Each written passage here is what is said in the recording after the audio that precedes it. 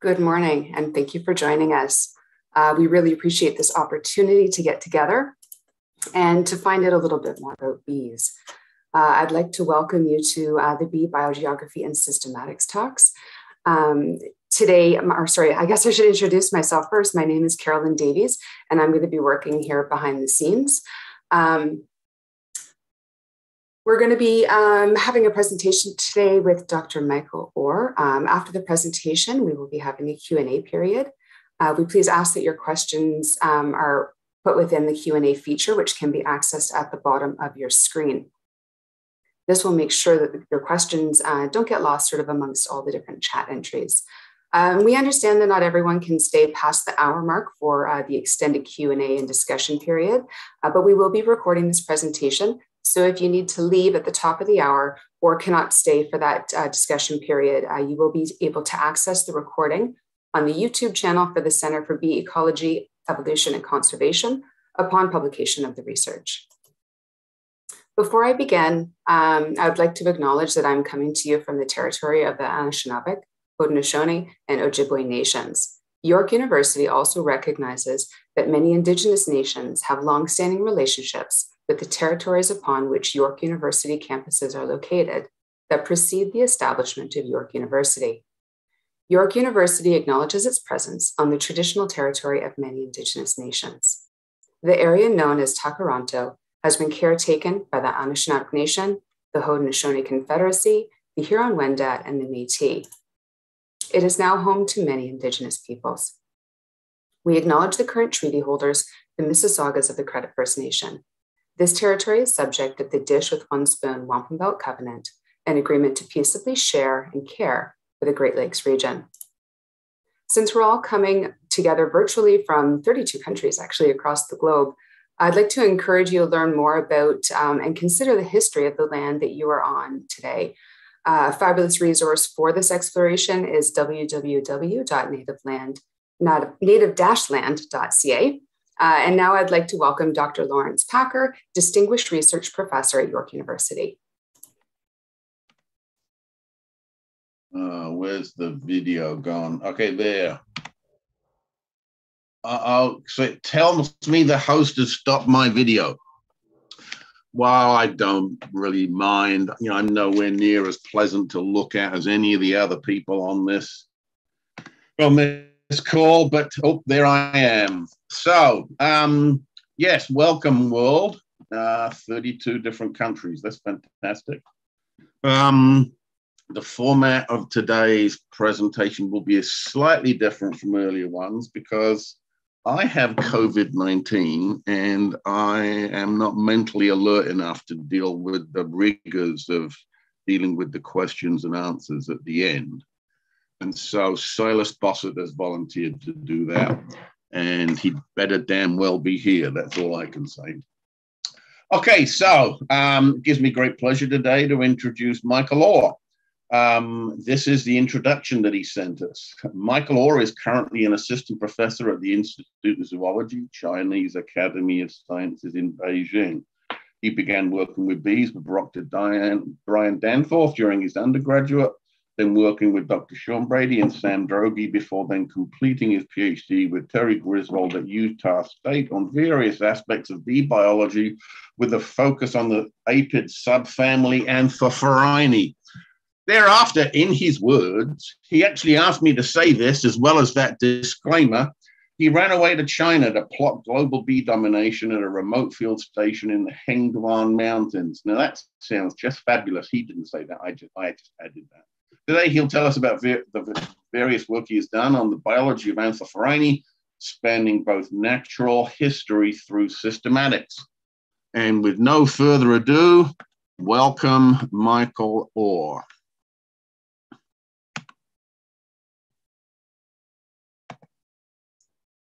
Hey, thanks everyone. Um, especially thanks Lawrence and Carolyn for actually organizing the seminar series. They've been great so far. And um, I'm really glad to present to you all today, talking about some of the work that I've done through, I don't know, maybe almost, maybe over 10 years now. It, it's been quite a long time, but it's been a fun ride. So hopefully you'll find it enjoyable as well. I'm going to put my put my talk up now. And I think everyone should be able to see my slides now. Yes, it looks great, Michael. Okay, great. Thank you very much. So um, basically today I'm going to talk about things from natural history, etc. onward of quite a broad variety of topics. Um, but first I should acknowledge that especially for the uh, phylogenomics work here, um, I was working very closely with another Michael, Michael Branstetter. Uh, he was instrumental in a lot of that project. So I'd be remiss not to mention that at the start. And let's go right into it now. So the family Apidae, this is the largest bee family. Um, it's got about 6,000 species, one third ish, just a bit under for the 20,000 or so total bee species. There's a huge range of social, uh, parasitic, floral specialization, various nesting behaviors. There's all kinds of things that you can study in this group. But most research has certainly been on the eusocial species. They're less than a seventh of the total. And here you can see some of them that I've encountered well over in China and Asia in general. Um, there, though, I've still kept up my focus on these Anthophorini. This is now a subfamily. It was recently raised by Silas. Um, you can see here some of the variety of body forms. And actually, there's quite a bit more variety than this. These are just the ones that I've taken myself that I think look pretty enough to put on a slide. But these are not just pretty faces, though. They're a very good model group because of all those behaviors um, that they show, because of all the forms and functions, specialization, etc. They're also distributed worldwide. This is very beneficial, so you can see how they live in various different environments. And they're relatively representative because of that of the overall patterns of bee biodiversity. Unlike the eusocial species, which in general, you'll actually see more of them near the equator, unlike bees overall, which we uh, demonstrated among quite a few other things in a recent paper on global bee distribution. Um, floral specialization, I haven't actually published too much on this topic yet, but I've still looked a lot into it, especially with the Micranthophora, the subgenus that I worked on most for my PhD. Um, and that's because they're actually pretty much all to some degree specialists, although to vary, varying degrees. Some of these, like Anthophora curta in the red and Anthophora petrophila in the yellow here, they're very widespread, they're very common. These are pretty generalist, although they definitely still seem to prefer Asteraceae, as many species in the group do. Um, and some on the other hand, they're actually using few or maybe even one species. You can see on one side here is Anthophora hololeuca, um, then several Psorothamnus plants that it's specialized on. That's basically the only thing you'll find it on is Psorothamnus, but it does seem to use multiple species. Um, if it used only one species, it actually would not be able to have that large of a range that's shown here because it overlaps the range of multiple species that have mutually exclusive ranges. Um, then conversely, there's Anthophora mortuaria. This is a relatively uncommon species. I've only actually collected it once and lo and behold, that one time it was on the edge of an agricultural field in Pluchea sericea. So it seems very closely linked to its host, as many specialists are. But I think really the one that takes the cake for all of the uh, Anthophora and their kin that I've worked on, it would probably be this Abronia villosa or Ab- Anthophora abroniae, which visits Abronia villosa. Um, I've found males patrolling even around just a single plant at a dune site. Um, I looked for more plants, but I couldn't find them. Um, every single time I've found this, I've found the plant. I can't say the same in the reverse because sometimes it's been bad weather and maybe they're not out flying. But they are incredibly well adapted. They've got this very long galea. Um, they just kind of dunk it down into the flower, pull it out, and then it's covered in pollen. These very narrow corollas. They're hard to reach, so very few other bees will actually visit them. This group is often pollinated by um, things like hawk moths or other various moths. But you can see here, if I can make the video work, that actually they're incredibly efficient with their visits. So just bam, bam, bam, that flower's done. They go on to the next one. They've got pollen. They can clean it in between, which they often do. And whenever they don't, or if they're a bit messy about it, then they're actually bringing the pollen over to the next flower and, of course, pollinating as a result. And then on the other extreme of this, we've got things like super generalists. Um, this is Anthophora urbana from a different subgenus, the Mystacanthophora. And this thing is found basically everywhere in the West. Um, these are two different Maxent models uh, made a quite a while ago by Harold Ikerd. Um, and you can see these are huge ranges. One of them is the red, a solid red, and the other is high suitability in white. So it shows this uh, less conservative model. It's basically able to live almost everywhere except the tops of mountains and extremely wet areas. Um, it's visited recording um, over 70 plant families, hundreds and hundreds of genera. Um, it goes from the bottom of almost the bottom of Death Valley to the top of the mountains there, Telescope Peak, that's over, I think, 11,000 feet maybe. It's a very impressive species. So there's quite this variety of different species that are actually there to study in this group. And one of the ways in which I've studied them beyond the floral biology, which is mostly unpublished, is nesting biology. So Nesting biology, these are all ground nesters of some type, although some of them do reuse nests like a cavity nester would. Those species uh, so far are ones that are also excavating at some point. Um, Anthophora pueblo is a great, very interesting example.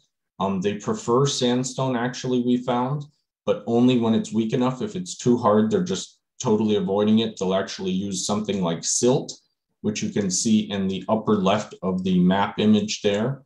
Um, and they're likely doing this for durability, but it seems like it can also prevent or reduce pathogens and parasites as well.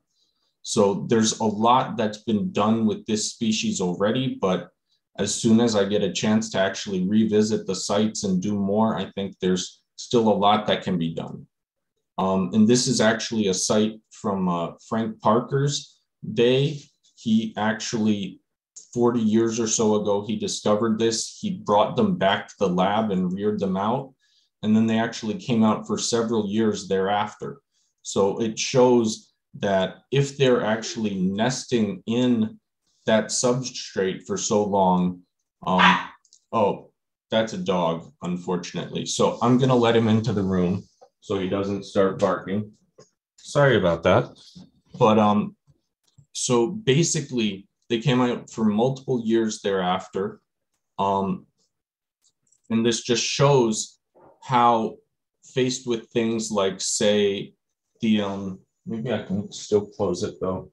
Faced with things like, say, flash floods, it's very beneficial to actually be in such a strong substrate. And here you can see again the map, but focusing on another site. This is Mesa Verde National Park in Colorado. And actually, this was discovered by Jim Cane a while ago and contributed very kindly to the study. These cliff dwelling nests, actually, they were inside the mortar of the cliff dwellings. So this is where, why I actually decided to name it Anthophora Pueblo. And since then, many new sites have been discovered. There's a lot going on still for this species. Um, there's various things that I want to do with it still.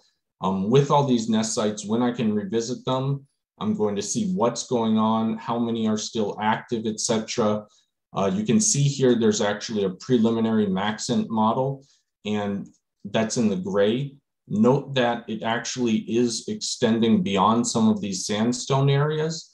And I think that's going to be interesting to publish on that, talking about really how we need to take into account better a lot of these very specialized habits. How, for instance, really they wouldn't be so likely to go outside of these areas where there's basically no sandstone. Um, during these more recent studies, we've also confirmed a second excavator. This is Anthophora peritomae here. You may be able to hear the, the slight buzzing noise. There's not too much there. Um, there's also a third possible, the Anthophora escalante, actually.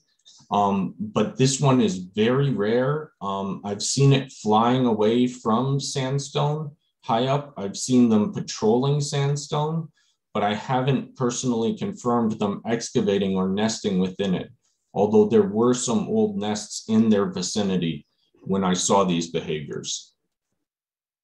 Um, there's also a lot more been done on finding various associates at this same site, actually, the exact same time. This lizard was very funnily and happily, haplessly trying to trying to capture and eat these bees. Um, over the time of several hours, I did not see any successes. So I'm not sure why it kept trying. It was a little bit futile from the look of it but definitely I think there are probably these pressures that we overlook, these predation predator pressures at these aggregations. So it's something important to consider if we're really building a full ecological framework to better understand them.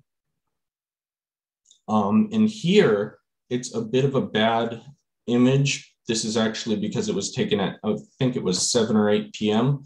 But if you look closely, actually, you'll notice that the aggregation is covered in ants. So this is a Pogonomyrmex. These are the harvester ants, which are known mostly for harvesting things like seeds, etc. There are still records of them predating upon various things, but this was, at least to my knowledge, the first one of them predating on bees at a sandstone aggregation. You can see here one of them actually carried it out and over the span of maybe 10 or 15 minutes carrying that larva out, um, they brought it eventually back into the nest. So they're definitely potentially some type of antagonist, um, but at the same time, there may be some benefit to the bees for this because the vast majority of these ants were actually collecting things like leftover pollen or fungal buildup so they may actually be cleaning to some degree incidentally these nests, which is pretty interesting. So it's very hard to figure out in a case like this what the real net benefit is, because on one hand, you've got a lot of potential, um, a lot of potential pathogens taken out with the fungus and the pollen that it could grow on. But at the same time, every once in a while, these larvae might be taken. And at this point, we actually know over 20 different nest associates for this system. And you can see a handful of pictures of them here. This is a wide array of things. Many of them are actually secondarily cavity nesting in the system, um, especially when the bees have abandoned the sites, which does not seem very uncommon from my observations. Actually, most of the sites I've found do seem to be abandoned um, and then taken over secondarily by things like Ashmeadiella, Megachile, Osmia, etc. Um, but you may also notice that quite a few of these, these are actually antagonists of some form. These are villains that are going after the bees or going after these other bees that have taken over later. It's still at this time a little bit hard to discern sometimes what they've actually been going after, um, depending on the type of nest or which of the things that comes later they're actually going after. But so there's still quite a few various types of parasites involved in this system and antagonists. Um, you may recall that I said maybe it helps avoid them. That's specifically because it may reduce their numbers. It seems like it's based on uh, tricrania, and this is published in the first paper, um, based on tricrania numbers year over year, it looks like actually they they um, can go through a bust if they're actually using these nests, and the numbers will drop very quickly. Um, so, not wanting to be outdone, one of the Micranthophora actually shows quite a bit of uh, masochism as well in its choice of house. This is a project led by Hilary Erenler um, that was published in 2016. This is a place I would really love to go. Um, basically, on the edge of this permanently degassing active volcano, there were over 200 bee nests at the last time she was able to check. So basically, to put it another way, this seems to be their optimal habitat right on the edge there. It doesn't seem perhaps like the best option on an evolutionary in an evolutionary framework. It seems a little bit dangerous. Um, it does not ultimately seem to me like a stable strategy, basically sacrificing your children to the volcano.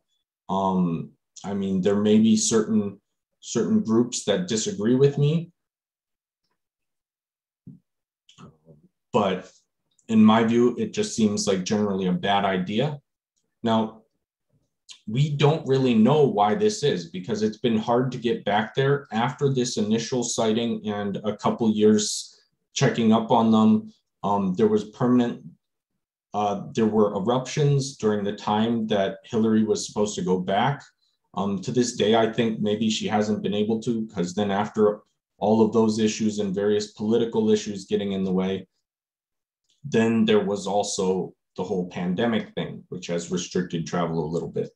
There are still parasites here, notably, so they're not totally escaping them. I think there were uh, four species of mutillids there still somehow.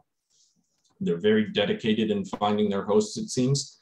Um, but maybe there are fewer. It's it's really hard to say. It could also be perhaps some kind of sensory trap because these bees, most of them are better in dry relatively arid areas, it may be that this is the best approximation of the kind of place they'd actually be nesting in more, um, more xeric areas.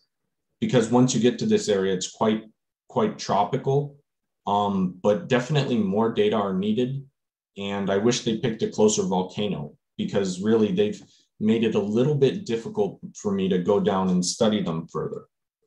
Um, so here I've talked a little bit about the background and various cool stories sort of in the group. Um, from here, I'm going to transition into something entirely different. Um, and I'm going to talk more about their systematics and really a little bit of the biogeography of this group from a phylogenetics perspective. So the subfamily Anthophorini, this is about 750 species or so, but there are still many cryptic undescribed species, even in places like North America. Um, I think there's still five or so Anthophoroides that I need to get around to describing at some point. Um, there are seven genera total accepted.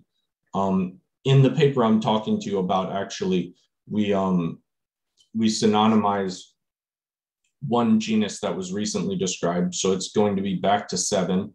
Um, two of them are endemic to South and Southeast Asia, and there's 200 plus species specifically in that area. Based on that and based on a morphological phylogeny, Dubitzky 2007 in Systematic Entomology, he suggested that perhaps that is actually the origin of this group because there's also pretty high generic generic diversity um, so there's things, this is the Elaphropoda, the Habrophorula, the Amegilla, the Anthophora, um, the Habropoda, if I didn't say it. Uh, there's quite a few groups, genera, that are all right there in Southeast Asia. So this is a rather interesting idea because it's in most phylogenetic reconstructions, it's been found to be relatively old um, and this has implications perhaps for the origin of the apidae itself. Um, so there's various hypotheses that have been raised. And of course, those would contrast with the general, pretty well accepted idea that bees overall arose in Gondwana um, about maybe 120, 125 million years ago. Um, so there have been many different placements. Um, we really, for this study, we focused on five of them. Three of them really are the most relevant ones uh, recently. There, of course, have been a lot of placements um, when morphology was the primary data set used. Um, then back then, people thought they were maybe sister to the Centridini, for instance, um, but that's been pretty well refuted. Um, notably, that is the that is the group that um, Dubitzky used as a sister group. So maybe if those analyses were rerun, something different would come up if they used the more re recently uh, realized and accepted sister groups. Um, so basically, what we have here is Anthophorini. It's going to sometimes be sister to the rest, Sometimes it's Nomadini and then Anthophorini. And then sometimes, and this one is very often, this third hypothesis is recovered recently. It's Anthophorini sister to Nomadini and that's sister to the rest of the Apidae. So what we did to investigate this, um, we basically took some pretty decent sampling for the family Apidae. There was a recent paper by Silas um, in 2019 on the group. So we reused some samples from there, added some of our own. Um, especially we wanted to get more megachilid out groups just so we could try and calibrate things there pretty strongly. And our data sources for this, we're using, um, oh, someone's, okay. Um, so we're using the UCE Hymenoptera set V2 and we're also using low coverage genome sequencing. And I want to take just a quick moment to talk about low coverage genome sequencing, because I think if people have the funding for it, they should definitely do it. There's some really good reasons for this. Um, so a lot of our collaborators have had success with older specimens. Um, in our lab, we've been generally focusing on more recent material because we have quite a bit actually that we've collected recently. Um, it requires less technical equipment in-house than things like UCEs as well. So this is highly beneficial. Um, basically, you just need to do an extraction and then send it off to a company, or you could even have the company do the extraction if you really trust them very well, which I generally don't. Um, it's a relatively straightforward pipeline for assembly and then use. Um, there are various scripts involved in this Zhang et al. 2019 paper um, that I collaborated on, and that's in Methods in Ecology and Evolution for anyone who's interested in it. You can basically then, once you've assembled this low coverage genome, you can pull out things like USCOs, UCEs, SNPs, basically anything. You can design new markers from it pretty well. Um, it's not as perfect as a genome. The coverage is lower, so it's harder to incorporate um, parts of the genome where there's very high repetition, et cetera. Things like that can be very problematic unless you have really high coverage in these long reads um, that you get with things like PacBio, et cetera. Um, cost, though, it can remain a little prohibitive. The last time I checked in China, it was about $90 a sample. It could have gone down a little bit by then, um, but and also decent computer computing power is needed for quicker assembly. But then the methods, the methods we did um, quite a bit actually, um, and really Branstetter was just quite impressive in the array of ways in which he figured we could check out this relationship. And you'll see why we were so thorough about this in a second. But um, so we did maximum likelihood and ExaBayes as well. We used a wide variety of matrix completeness. Um, we also did astral methods, including um, what we saw was useful from a recent, um, another Silas paper on Pseudapis, collapsing some of these poorly supported nodes in the gene trees can actually make the, uh, the species trees much better off overall, um, agree much better with what's generally accepted in bee phylogenetics in terms of relationships. Um, and for both, we did all kinds of filtering. This is for saturation, base compositional heterogeneity, um, low information contact, content. We also used RY coding um, for various topology tests. We also did outlier removal analyses, SIM test. Um, quite a bit of partitioning schemes were used. And in general, we were using a GTR G model, although we did use model selection also in a number of them. And so now I'm going to show you the first tree. This is tree one of 58, and you can very clearly see where everything is in the tree, right? So this is the concatenated 10% matrix completeness, uh, maximum likelihood, no partitions used. You can see very clearly there that that second clade from the top, that is Anthophorini. So that is actually sister to the rest of the Apidae there. And now I'm going to walk you through the remaining 57. I'm not actually going to do that. That would probably be a little bit painful, not just for you, but for me as well. Instead, I'm thinking that we should probably summarize things a little bit. So here you can see a summary graphic there are a number of relationships that were never never recovered in these 58 uh, trees we did. Um, so HO, this is our primary with Anthophorini, sister to the rest. That was recovered in 56 of 58 tree searches conducted. Um, two of them, we found Nomadini, sister to the rest. And then uh, sister and then Anthophorini sister to the rest interiorly. Um, if you want to get an idea of the supports, this is from the, uh, the best tree that we used. Our selected best tree was with the 75% completeness matrix. It had a pretty decent balance of number of loci versus missing data. Um, so it worked pretty well, I think. You can see here, there are very few things that were under fully supported. In Exabayes, the Exabayes analysis we did, everything was a one, which was pretty unusual in my experience. Um, usually Bayesian values are higher, but they usually aren't all one. Um, but you can see Anthophorini given here in the little red slice, and there it is again, uh, sister to everything else within the Apidae. Um, so it's quite well supported overall.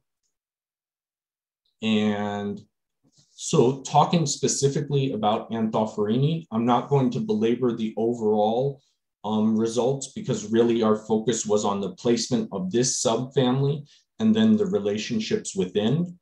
But um, so within, everything was pretty much totally consistent in terms of the generic level. Um, even also at the species level, there were very few disagreements, and it was pretty clear in almost all cases, except for one internal node of Micranthophora, where what the correct um, result was. Um, in one of the astral analyses, we actually had Pachymelus um, in with Deltoptila and Habrophorula and Elaphropoda. That was one single one though. And once we collapsed down to the 50% um, level, then that disappeared actually. So it was fixed. Um, so you can see here, ultimately we have Pachymelus at the top. This is, as you may recall, from South Africa and Madagascar. It's endemic to this area. Next, we have a clade that is Deltoptila with Habrophorula and Elaphropoda. Those latter two sister to each other and Deltoptila sister to it.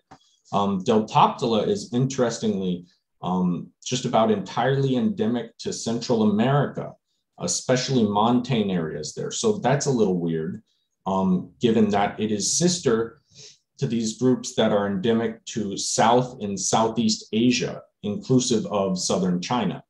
Um, so that's a little bit of a strange thing going on there, especially since the, the um, original group uh, the sister to the rest, Pachymelus, is from South Africa and Madagascar. Um, then we have Habrophorula. This is basically, this group is basically found throughout the Northern hemisphere. Um, then we have Amegilla and Anthophora, sister to each other. Amegilla is old world only, Anthophora is worldwide, basically. Um, so I just went through a bit of this already, um, but this is very interesting and I want to focus on it a little bit. These very strange relationships that we get here. Because um, how did this happen, basically? So the question is, how do you have something that's endemic now to Madagascar in South Africa? And I should note that most of the species by far are in Madagascar. Um, there's just one, maybe a couple on the mainland. Um, we need probably more sampling to see if there might be a, some more, but it seems like the vast majority are actually in Madagascar rather than Africa. Um, so it makes it a little strange to think about this um, trajectory going up through Africa, across Europe, into Asia, and then everything that was there died. Basically, we don't have record of them there anymore. Um, now, it could be that the the ancestral distribution was the entire area, that they were exceedingly widespread, and then they just everything died off in between. Um, no matter what narrative you want to pick for this, there's a lot of extinction that's going to be invoked um, to actually get these bees up into South and Southeast Asia, and then to have nothing in between from these relevant groups. Um, so actually, one thing I've been thinking about more recently is this kind of out of India hypothesis, where actually they could have been on the Indian plate as it traveled northward. Um, now, this is a difficult one to actually support because generally we are we do think that they're a bit younger than they would need to be to have actually been on the plate when it was pretty well connected to Gondwana around 120 or 100 to maybe depending on who you ask some say 120 million years ago. Um, I don't think it's possible if it was 120, but if it was 100 when the Indian plate was down closer to um, closer to Gondwana, specifically right next to Madagascar, notably, um, then maybe they actually just rode up there. And that's why we have no record of them, these relevant groups at least, or their ancestors in this intervening area.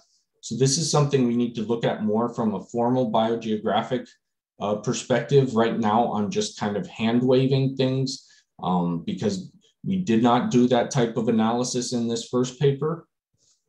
Um, but beyond this very interesting aspect of their biogeography, there's also um, a lot of new world, old world splits in this group. So you can see here, I've indicated with um, green dots where there's a clear split between the old and the new world, where at some point that has had to happen.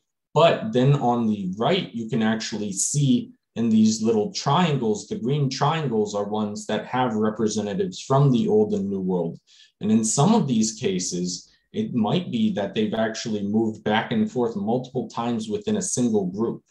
Um, I wouldn't be too surprised about that for things like, say, uh, Pyganthophora and Lophanthophora, especially because these are very large bees. They're spring bees, many of them, and they probably very good at dealing with colder environments, like what the Bering Strait would have been, for instance.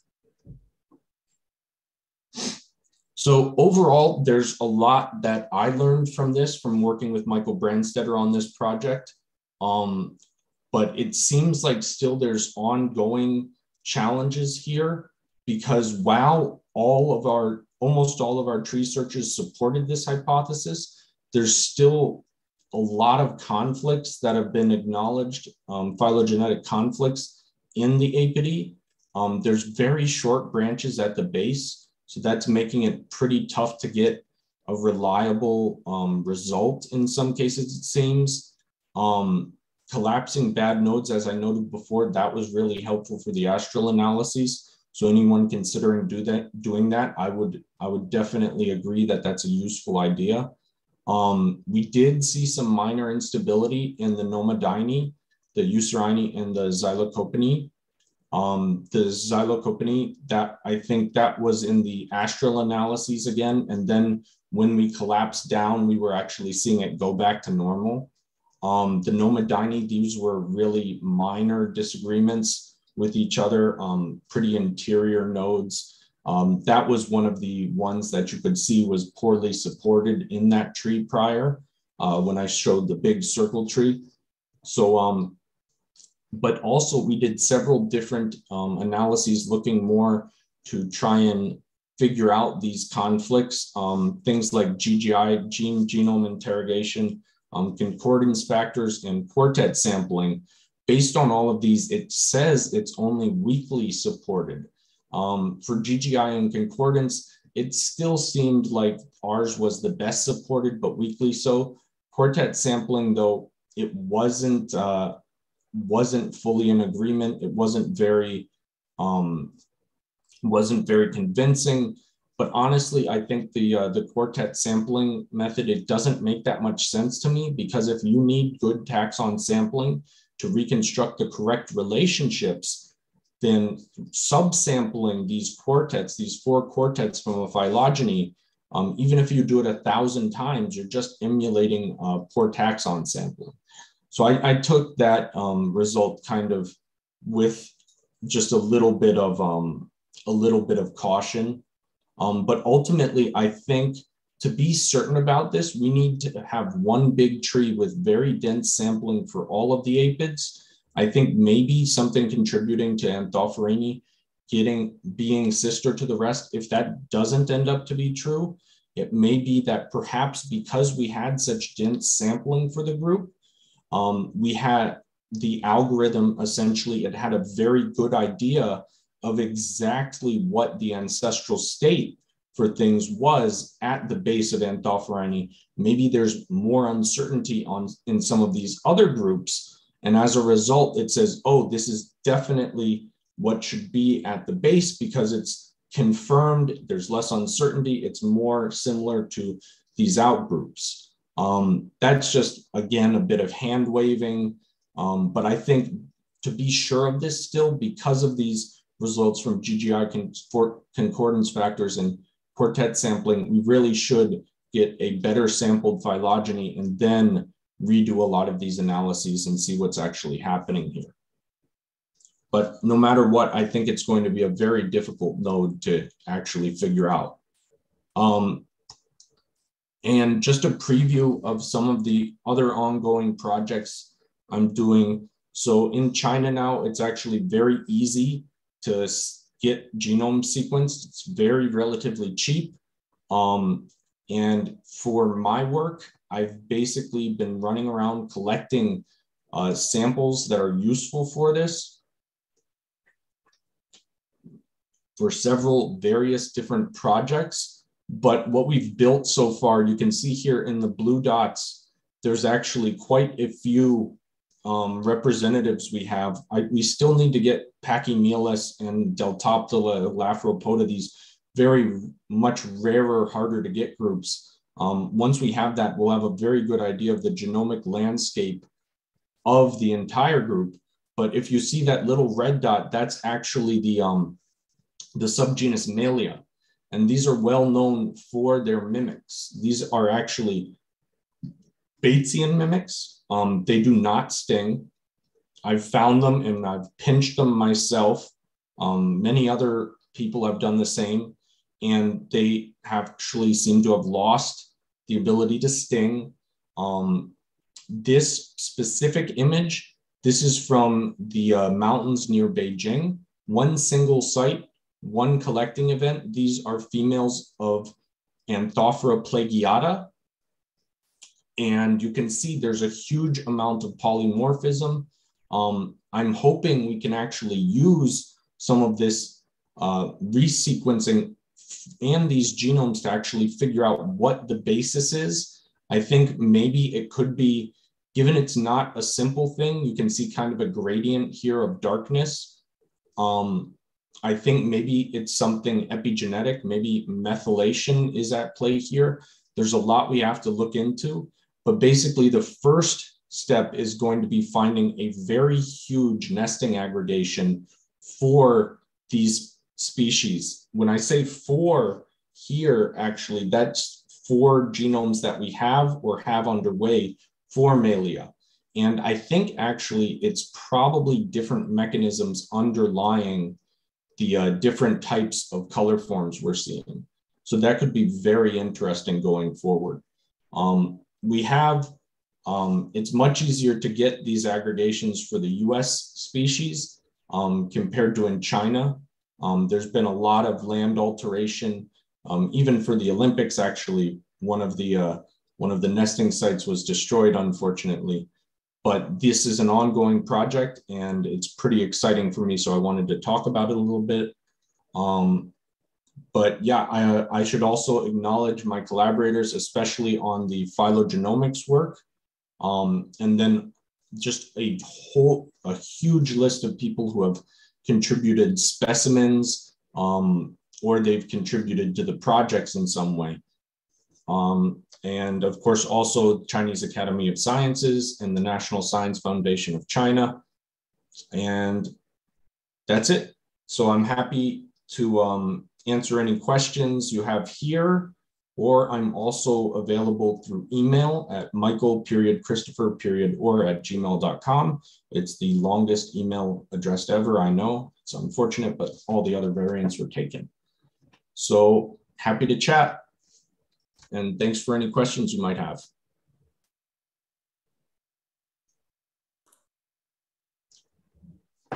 So for this, should I um should I stop? It's completely up to you, Michael. Okay. Welcome, um, Silas. Hi. Hi, everybody. My name is Silas. I'm going to lead the Q&A session. Um, thank you very much, Michael, for that very exciting talk. Uh, certainly learned a lot of new stuff. Um, I'm going to have a quick look here. Um, we have one question so far, and that is from Nora Romero. Um, she's a grad student in Laurence Packer's lab. What a great talk. I'm just wondering how good, how good is the fossil representation for the Anthophorinds? Okay, so unfortunately, it's rather abysmal. Um, I mean, bees in general you don't have too many groups with a lot of good fossils. Um, Anthophorini, it's um, there's a couple that are close to Habropoda, and then there are some weird older ones that were said kind of hand wavy, like maybe this isn't Anthophora, I don't know. And those ones I don't think can re- really be used. So it definitely using fossils for dating is a challenge. And that's part of why we kind of uh, we kind of avoided that in this first paper. I see. Yeah, very much understandable.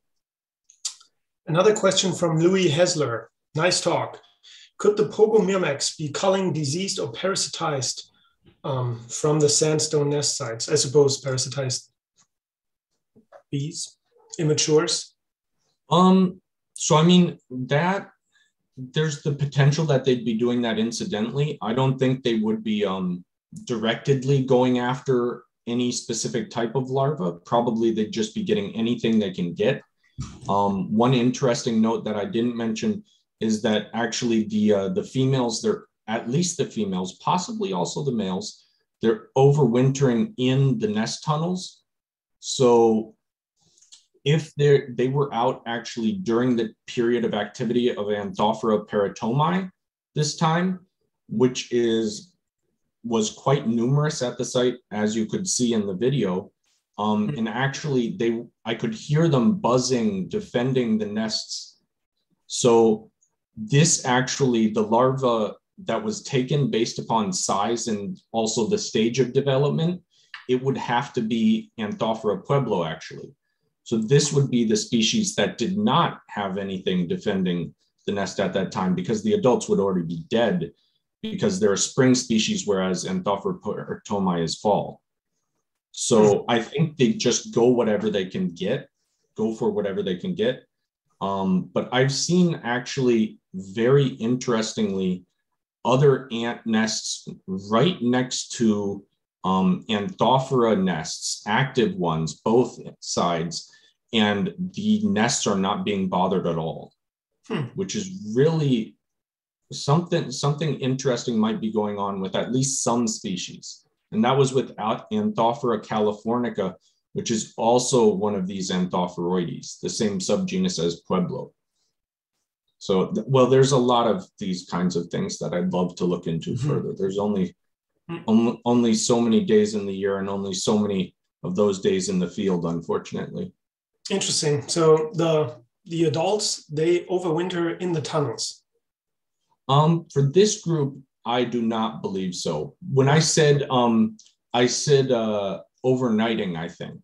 Oh, so they're spending the nights in the tunnels. So I was hearing them buzzing in defense. I see. There are species that do among Anthophora overwinter as adults, mm-hmm. like um, some of the uh, what's it, the Lophanthophorae at the very least. Some of those are documented to do this. These very early spring bees, but for these it wouldn't make sense because neither of them are very early in the year.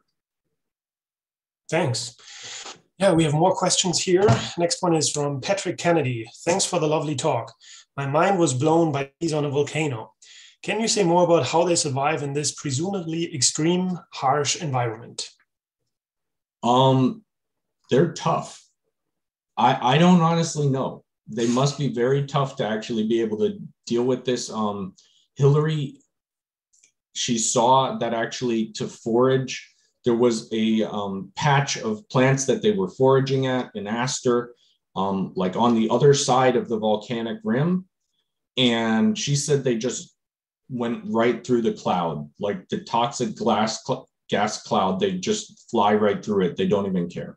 So um, I don't know if this is some kind of local adaptation, perhaps something really weird is going on physiologically, or if somehow they just are predisposed to be able to do this as a species.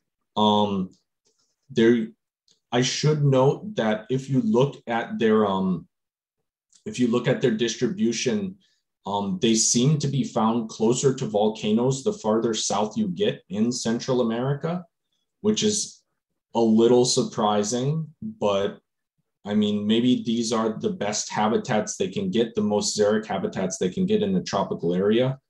Um, as they line their nests, of course, so there's some protection for the larvae, but while they're building these um, nests, uh, ash could be falling in. If a larva eats ash, that seems like a really unpleasant meal. Um, just all around it, it seems a very unfortunate place to live for a bee. But like I said, there were maybe like 200 nests, and they've been increasing in numbers up until Hillary was unable to check in on them again. Mm.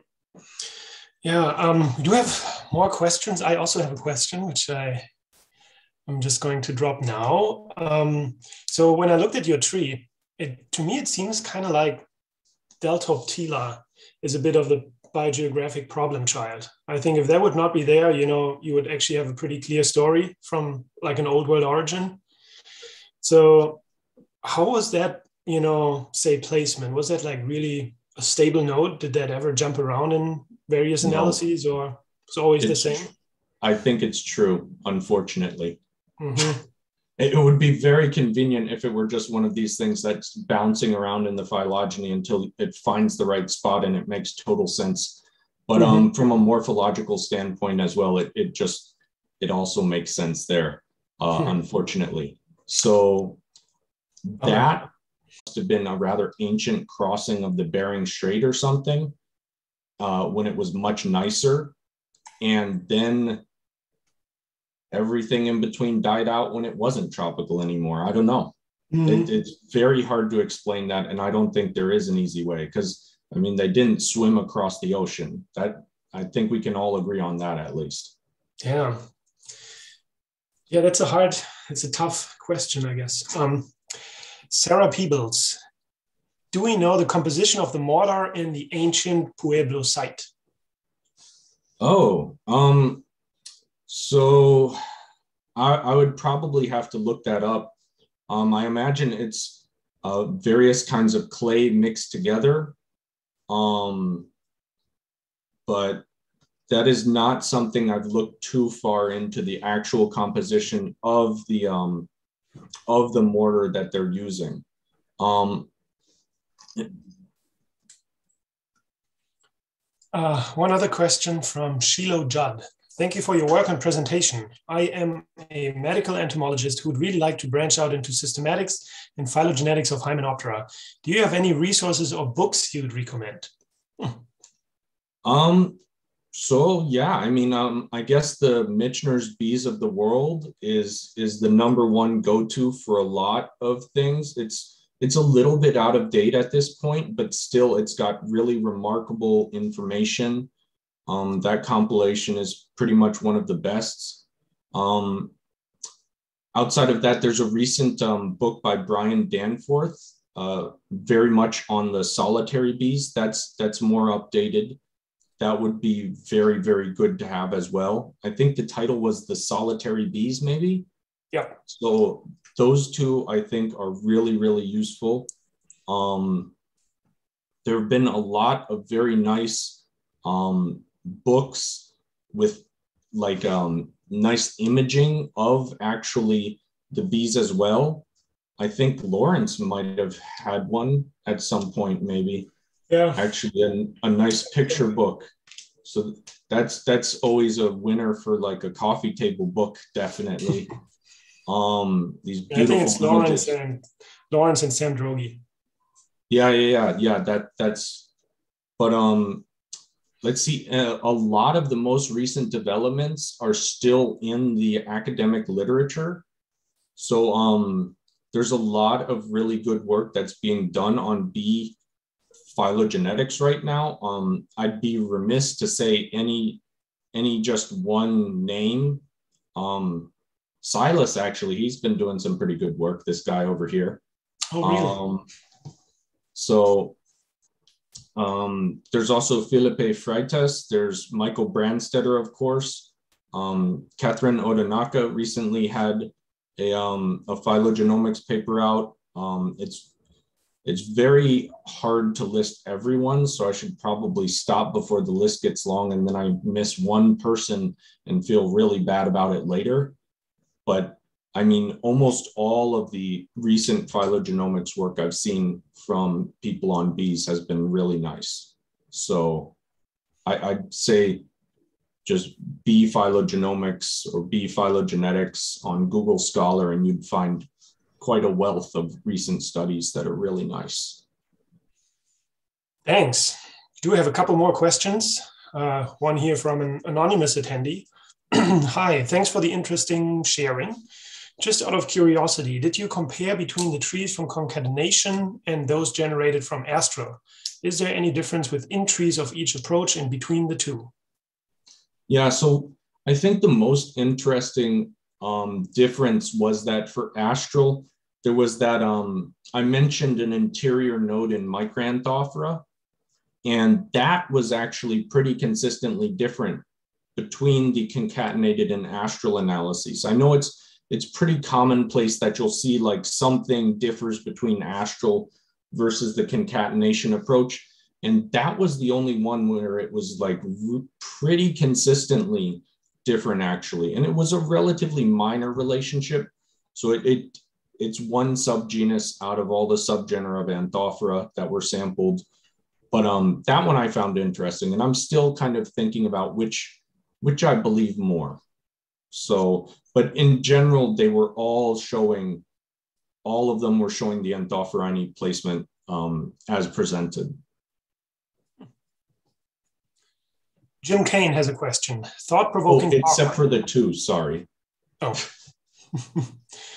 One question here from Jim Cane. Um, those color polymorphisms that you have begun exploring remind me of some that we see in bombus, as Paul Williams mentioned.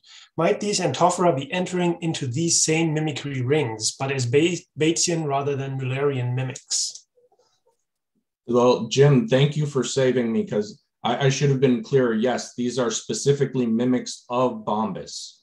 So definitely there is this kind of relationship. If you look at like Anthophora bomboides, for instance, This is the North American species with the largest range um, of the subgenus. Uh, you can actually track, like in the east, it looks kind of like Bombus impatiens, Bombus bimaculatus. In the west, it starts looking like things like, say, Huntii. In the coast, it'll look actually like Vosnesenskii more. Um, so really, it's that species at least is geographically tracking very well. And within populations, it's more stable than we see with the, uh, the Anthophora plagiata, where it's totally plastic within the populations I've encountered. This is why I think there might be different genomic architecture underlying these, um, these different uh, mimicry styles. But yeah, definitely it's uh it's Bombus that they're they're actually um, entering these mimicry rings. Yeah. So I think also there could be very cool ecological things we could look at, like the um, the proportion of color color forms in various um, populations to see if that's changing over years, as you would expect. Like a, and this is something we can't do with some of the species where it's like geographic separation, but where we have polymorphism, we could actually look if there's like frequency dependence of the color morphs based upon the local bombus fauna. So that would be incredibly cool to actually look at further. But that requires a big aggregation in an area with a good bombus population as well. And I still haven't really found that. So Another question here from Joel Gardner. In your opinion, do you think low coverage whole genome sequencing will eventually replace UCEs in phylogenomics the way the same way that UCEs replaced 1 to 10 gene Sanger sequencing? Um, short answer, yes. Um, eventually. I, I think it's going to happen eventually because this genomic sequencing, um, low coverage genome sequencing in principle is pretty similar to what people are doing to, to genome sequence or to, to like resequence or what have you. Um, the, getting the data is similar enough to these various methods, and these methods are going to stick around for a while, or at least the intention to get a genome is going to stay for a long time. So they're going to keep making this cheaper and more efficient, and it will benefit, I think, the um, low coverage whole genome sequencing approach very mm-hmm. much. It'll make things a lot cheaper because it's already cheaper than a genome, obviously, but it can still get cheaper than it is, I think. Um, I don't think it has reached the, the minimum price just yet. And I think as that happens, it's going to become more and more economic because I think UCEs are probably already close probably already closing in on their minimum cost because at some point you can't make it cheaper just because of the materials hmm. involved. Yeah, that's an interesting question. Um, I guess one aspect is also that the low coverage whole genomes are pretty nicely combinable with the UCE. So it could also be that it's a bit of a smoother transition. We'll see. Yeah. Absolutely. I, I think that's that's also a great point because really um, they're not mutually exclusive. Mm-hmm. So you can have like our study, we had um, something like 12 low coverage genomes on our end, and then the UCEs have been generated when I'd gone over to uh, Branstetter's lab actually. So mm-hmm. we we just put them together, but um, I think going forward, at least from the um, the specimens I'm using in China, probably I'll keep using the low coverage genome sequencing because mm-hmm. it also it builds up the ability to pull other markers. If we have other markers down the line, we can't necessarily pull them from UCEs. I, I won't say it's impossible because you can already pull things like Sanger genes from them, but I think the success rate will be higher pulling from the low coverage genome data. I have one other question. Um, so, so this this is another one from me. Um, if you, I mean, what are your thoughts on kind of the? I mean, I know it's sometimes a bit of a hard question. But what are the mechanistic reasons behind, you know, the fact that this node involving anthophorines and nomadines is so hard? You know, is it is actually are the anthophorines the problem or are the nomadines the problem? Oh, because I mean, I, wouldn't exist. All your topologies would be the same, basically you know? Yeah yeah. So so let's just get rid of them and then it's really simple right? I mean just just cut them out of the the matrix and then it's like oh everything's consistent. Perfect but, um yeah i don't know. Um we've we've talked about this before silas and and we've both got some ideas. Like i one thing you suggested before that, uh, that I, i'd also thought about some is like as soon as you start kleptoparasitizing these things, maybe there's a big diversification because there's all these things that don't have parasites yet. And there's like, it's just tons and tons of empty niches. Things are suddenly diversifying like crazy. Um, if that happened in a very short time frame, and I mean, that explains these very short branches we're seeing at the base of the apidae. Mm-hmm. Um, it's it's a long time ago and the things that did this originally are dead for a long time so we're not going to sequence if we could sequence them like jurassic park or something it'd be perfect and we'd have an easy answer if we could find the fossils i guess but um it's it's a tough one I, i'm not sure who the problem child is it may be that they're all problem children honestly we have one other question, which is a little bit wider in scope, I suppose, from Preeti Chudari. Some bees show mimicries uh, to bumblebees, but in and but actually they are not. Why? So this is something I've thought about. The original reason I came to China was to work specifically on mimics because uh, there's a lot of them here. I've found like 15 independent um, lineages going into bombus mimicry in China alone. So it, it's, and numerous of those are actually Anthophorini. I'm hoping to find a nice way to package this someday, but for now they're too rare to do a lot of distributional analyses, which was the uh, initial, the initial idea with it. But um, so I've thought about this too. Sometimes maybe people are making too big a deal of this and they're not necessarily a mimic. They see, oh, they look the same, so they must be mimicking one another, what have you. Um, I think in some cases, like um, let's say like all black with a red tail, that's something that I could see arising just as like a um, aposematic coloration, things like that. That could explain sometimes how similar color patterns emerge that doesn't necessarily mean they aren't mimics. It could be that it started aposematic and then um, bumblebees move in next door and they've got the same color pattern and they're much more common. You'd naturally then get some benefit from that. So I think it's it's hard to say though. It's very hard to tell if this kind of mimicry is actually happening to confirm it um, 100%, I don't know if it's possible to, to confirm it 100%. But if you look at things like Anthophora bomboides, and if you look at the color pattern in the range versus the color pattern of the bumblebees, it's a really nice, very nice mix because you'll see like um, zones where multiple forms pop up in the places where the forms of bumblebees are found in the same place like um, the Pacific Northwest, actually. That's where you'll see like both the um, the blacker and then the redder forms of Anthophora bomboides. Nice, thanks. Um, I think we are actually out questions. You made it through. um, so unless there are not any other questions, I would like to thank you for your time. Um, I think Carolyn may take over at this point, and uh, yeah, thanks.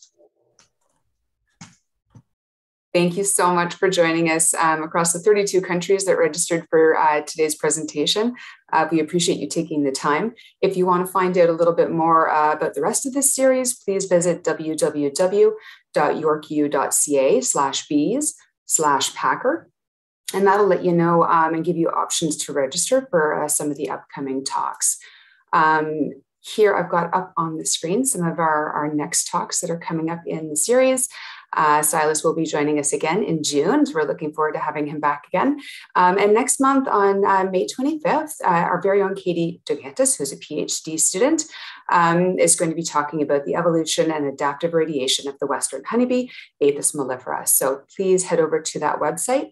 Again, it's www.yorku.ca slash bees slash packer to register for that uh, particular webinar. Um, and again, you will get a thank you uh, for joining us and some of those resources. Thank you again. Enjoy the rest of your afternoon. Thanks, Michael. Yeah, thanks very much, everyone, for attending, and Silas also for uh, helping with the hosting. And of course, Carolyn and Laurence for setting it all up.